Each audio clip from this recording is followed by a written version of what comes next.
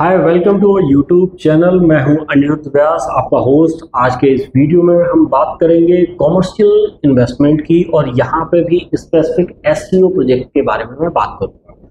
कुछ ready to move properties के बारे में भी डिस्कस करेंगे। कुछ ऐसी प्रॉपर्टीज़ के बारे में भी डिस्कस करेंगे जो आने वाले टाइम में जो है एक अच्छा अप्रिसिएशन आपको दे सकती हैं। तो डेफिनेटली हर तरीके की प्रॉपर्टीज़ को हम डिस्कस करेंगे तो उसके लिए करना क्या है कि वीडियो में एंड तक बने रहना है। एस जो होते हैं, वो शॉप कम ऑफ़िस होते हैं। पहले गुड़गांव के अंदर आपने हुड्डा के एस ही देखे होंगे। चाहे आप सेक्टर 46 चले जाइए, चाहे आप 56 चले जाइए, या किसी अदर एरिया में चले जाइए 29 में चले जाइए। हर जगह पे हुड्डा ने एस निकाले थे। वो एस आज की डेट में अच्छा खासा प्रीमियम कमांड करते हैं। रेंटल वाइज भी आपको अच्छी आर वहाँ पे मिलती है। और एस के अंदर ब्रांड इसलिए भी चला जाता है कि जो सुपर एरिया होता है ऑलमोस्ट वही कारपेट एरिया होता है। मतलब जैसे अगर कोई रिटेल मार्केट में आप जाते हो एज ए ब्रांड तो अगर आपको रिक्वायर्ड है फाइव थाउज़ेंड स्क्वायर फीट का कारपेट एरिया तो उसके लिए आपको लेना पड़ेगा टेन थाउज़ेंड स्क्वायर फीट का सुपर एरिया तो आपका रेंटल तो जाएगा टेन थाउज़ेंड के अकॉर्डिंग लेकिन आपको यूजेबल जो एरिया मिलेगा, वो फाइव थाउज़ेंड स्क्वायर फीट मिलेगा। बट एस के अंदर ऐसा नहीं होता है। एस के अंदर होता क्या है? कि आपका जो एरिया है वो कम्प्लीटली आपका है तो वहाँ पे सुपर और कारपेट का इस तरीके का डिफरेंस देखने को नहीं मिलता है। दूसरा क्या है कि एस uh, के अंदर क्या है ओपन स्पेस होता है पार्किंग ओपन एरिया में होती है। मेंटेनेंस वाइज देखा जाए काफ़ी लो मेंटेनेंस होती है। बट क्योंकि प्राइवेट इंडिपेंडेंट प्रॉपर्टी है यहाँ पे ऑनर को क्या फ़ायदा होता है? ऑनर को सबसे बड़ा फ़ायदा तो ये होता है कि ऑनर चाहता तो है कि इंडिपेंडेंट बिल्डिंग अपनी बनाना एक कॉमर्शियल लेकिन उसके पास पचास करोड़ 100 करोड़ रुपए लगाने को नहीं है।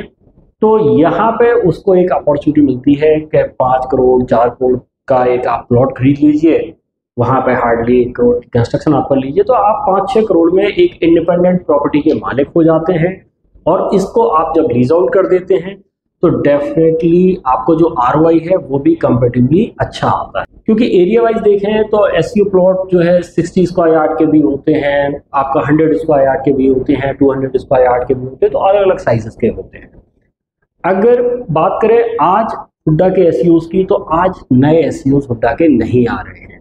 जो पुराने सेक्टर्स हैं, जिनके अंदर एस प्लॉट ऑलरेडी लॉन्च किए हुए थे, वही है। अब उनमें से कुछ एरियाज़ में आपको कंस्ट्रक्शन होती दिखने लगी होगी।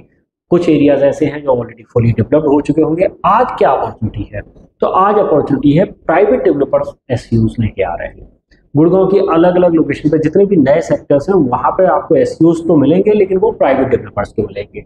इसकी शुरुआत करी थी इमारत ने इमारत ने 65 सेक्टर के अंदर, जो कि गोल्फ कोर्स एक्सटेंशन रोड पर लोकेटेड है, यहाँ पे अपने ईबीडी e 65 के नाम से एस प्लॉट लॉन्च किए थे। अब ये वो स्टेज आ चुकी है जहाँ पे इन प्लॉट्स के अंदर लीजिंग भी हो रखी है कंस्ट्रक्शन शुरू हो चुकी है और सबसे अच्छी बात क्या है कि यहाँ पे बहुत सारे प्लॉट ओनर तो ऐसे हैं जिन्होंने लीजिंग पहले कर दी है, उसके बाद टेनेंट के अकॉर्डिंग वो कंस्ट्रक्शन कर रहे हैं। फसाड डेफिनेटली जब इमार जैसे डेवलपर का प्रोजेक्ट है तो फसाड तो कंट्रोल करेगा ही। फसाड कंट्रोल करने से ये भी होता है कि एक सिमिलर काइंड ऑफ़ मार्केट आपकी लगती है बट आपको रेंटल जो है यहाँ पे काफ़ी अच्छा मिल जाता है। मतलब अगर किसी रिटेल मार्केट से कंपेयर करो तो यहाँ पे बैंड जो है कहीं ना कहीं पचास साठ रुपए पर स्क्वायर फीट का रेंटल एक्स्ट्रा आपको पे कर देता है। क्योंकि अल्टीमेटली वो उतना उससे ज़्यादा पैसा जो है वहाँ पे बचा रहा होता है अपनी मेंटेनेंस के अंदर, अपने जो है रेंटल के अंदर। क्योंकि सुपर और कारपेट का डिफरेंस एक बहुत बड़ा डिफरेंस होता है किसी भी ब्रांड के लिए। मतलब इनफैक्ट मैं बात करूँ तो कुछ कुछ ऐसी मार्केट हैं जिनके अंदर जो मेंटेनेंस है वो इतनी है मतलब तीस रुपए, चालीस रुपए की मेंटेनेंस है। मान लिया मैंने पच्चीस रुपए की भी मेंटेनेंस है और तीस रुपए की मेंटेनेंस है तो तीस रुपए की मेंटेनेंस को अगर आप कारपेट एरिया से कंपेयर करो तो तीस रुपए तो आपको सुपर पे लगना है तो कारपेट एरिया पे आपको साठ रुपए की मेंटेनेंस जानी है। तो अब ब्रांड अगर किसी दूसरी लोकेशन पे आपको डेढ़ सौ रुपए का रेंटल दे देता है ना, तब भी वो फ़ायदे पे है। क्योंकि उस लोकेशन पे उसको इतना रेंटल भी देना पड़ रहा है, इतनी मेंटेनेंस भी देनी पड़ रही है यूजेबल एरिया भी कम मिल रहा है।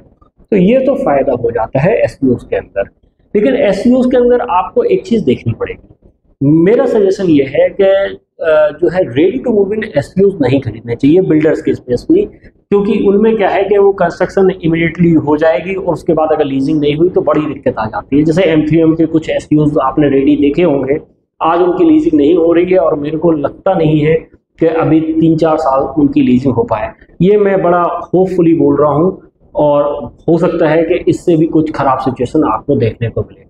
तो अगर वो चीज़ आप नहीं चाहते हैं तो मेरा सजेशन ये है, आप एस प्लॉट खरीद। क्योंकि प्लॉट अगर आप खरीदते हैं तो वहाँ पर फ़ायदा क्या होता है?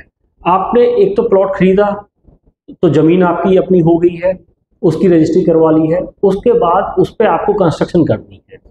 कंस्ट्रक्शन के लिए भी आपके पास टाइम है। पहले तो प्लॉट खरीदने में भी आपको रफली छः महीने, एक साल का टाइम मिल जाएगा। अगर किसी ओरिजिनल बुकिंग के प्रोजेक्ट में आप जाते हो, उसके बाद आपको कम से कम दो से तीन साल का टाइम मिल जाएगा कंस्ट्रक्शन करने के लिए भी। तो वो टाइम आप इसलिए भी रख सकते हैं कि उतने टाइम में उस एरिया के अंदर हलचल होगी। हो सकता है कि कोई ब्रांड वहाँ पे जो है कंस्ट्रक्शन शुरू कर दे, क्योंकि बहुत सारे एस ऐसे हैं कि जहाँ पे ब्रांड ने एस प्लॉट खरीदे हुए हैं। बहुत सारे ऐसे ब्रांड मैं बता सकता हूँ, जिन्होंने अलग अलग लोकेशन पर अलग अलग एस मार्केट के अंदर अपने लिए एरिया खरीदा हुआ है और वो अपना कंस्ट्रक्शन वहाँ पे करें। उससे होगा क्या? उससे होगा ये कि उनका सिमिलर ब्रांड या दूसरा कोई ब्रांड जो है, वो आपको भी अप्रोच करेगा कि जी इस एरिया के अंदर मेरे को स्पेस रिक्वायर्ड है, आपके पास ऐसी प्लॉट है, आप उनके साथ डील बनाओगे, उसके बाद आप कंस्ट्रक्शन शुरू करोगे। तो आपका फ़ायदा क्या है कि डे वन से जिस दिन आपकी बिल्डिंग रेडी होगी, उस दिन से आपको रेंटल भी मिल रहा होगा, पहली चीज़। दूसरी चीज़, आज आपके पास एक टाइम है, एक बढ़िया टाइम आपको मिल जाता है तीन से चार साल का, जिसके अंदर आपकी प्रॉपर्टी अप्रिशिएट भी कर जाएगी। तो इनकेस आपको लगता है कि आपको कंस्ट्रक्शन नहीं करनी है और आपने आज प्लॉट खरीदा है और कल आप प्लॉट बेचना चाहते हैं, तब भी आपके पास एक अच्छी अपॉर्चुनिटी है। और फ्लोर वाइज रजिस्ट्री का भी ऑप्शन यहाँ पे जल्दी आने वाला है। तो अगर जैसे ही वो ऑप्शन आएगा तो आप चाहेंगे कि डेफिनेटली जैसे फ्लोर्स के अंदर नॉर्मली आपने देखा होगा रीजनल फ्लोर्स में क्या होता है कि कई बार कुछ डेवलपर ऐसे होते हैं जो आपके साथ एसोसिएट हो जाते हैं। वो कहते हैं कि ठीक है, कुछ फ्लोर्स आप रख लीजिए कंस्ट्रक्शन मैं कर देता हूँ, कुछ फ्लोर्स मैं बेच लूँगा। तो उस तरीके की अपॉर्चुनिटी भी आपके पास आ जाएगी। तो एक अच्छी अपॉर्चुनिटी है एस के अंदर इन्वेस्ट करने की, लेकिन वहाँ पे ज़रूरी ये है कि आप एक राइट प्रोजेक्ट के अंदर ही इंटर करें।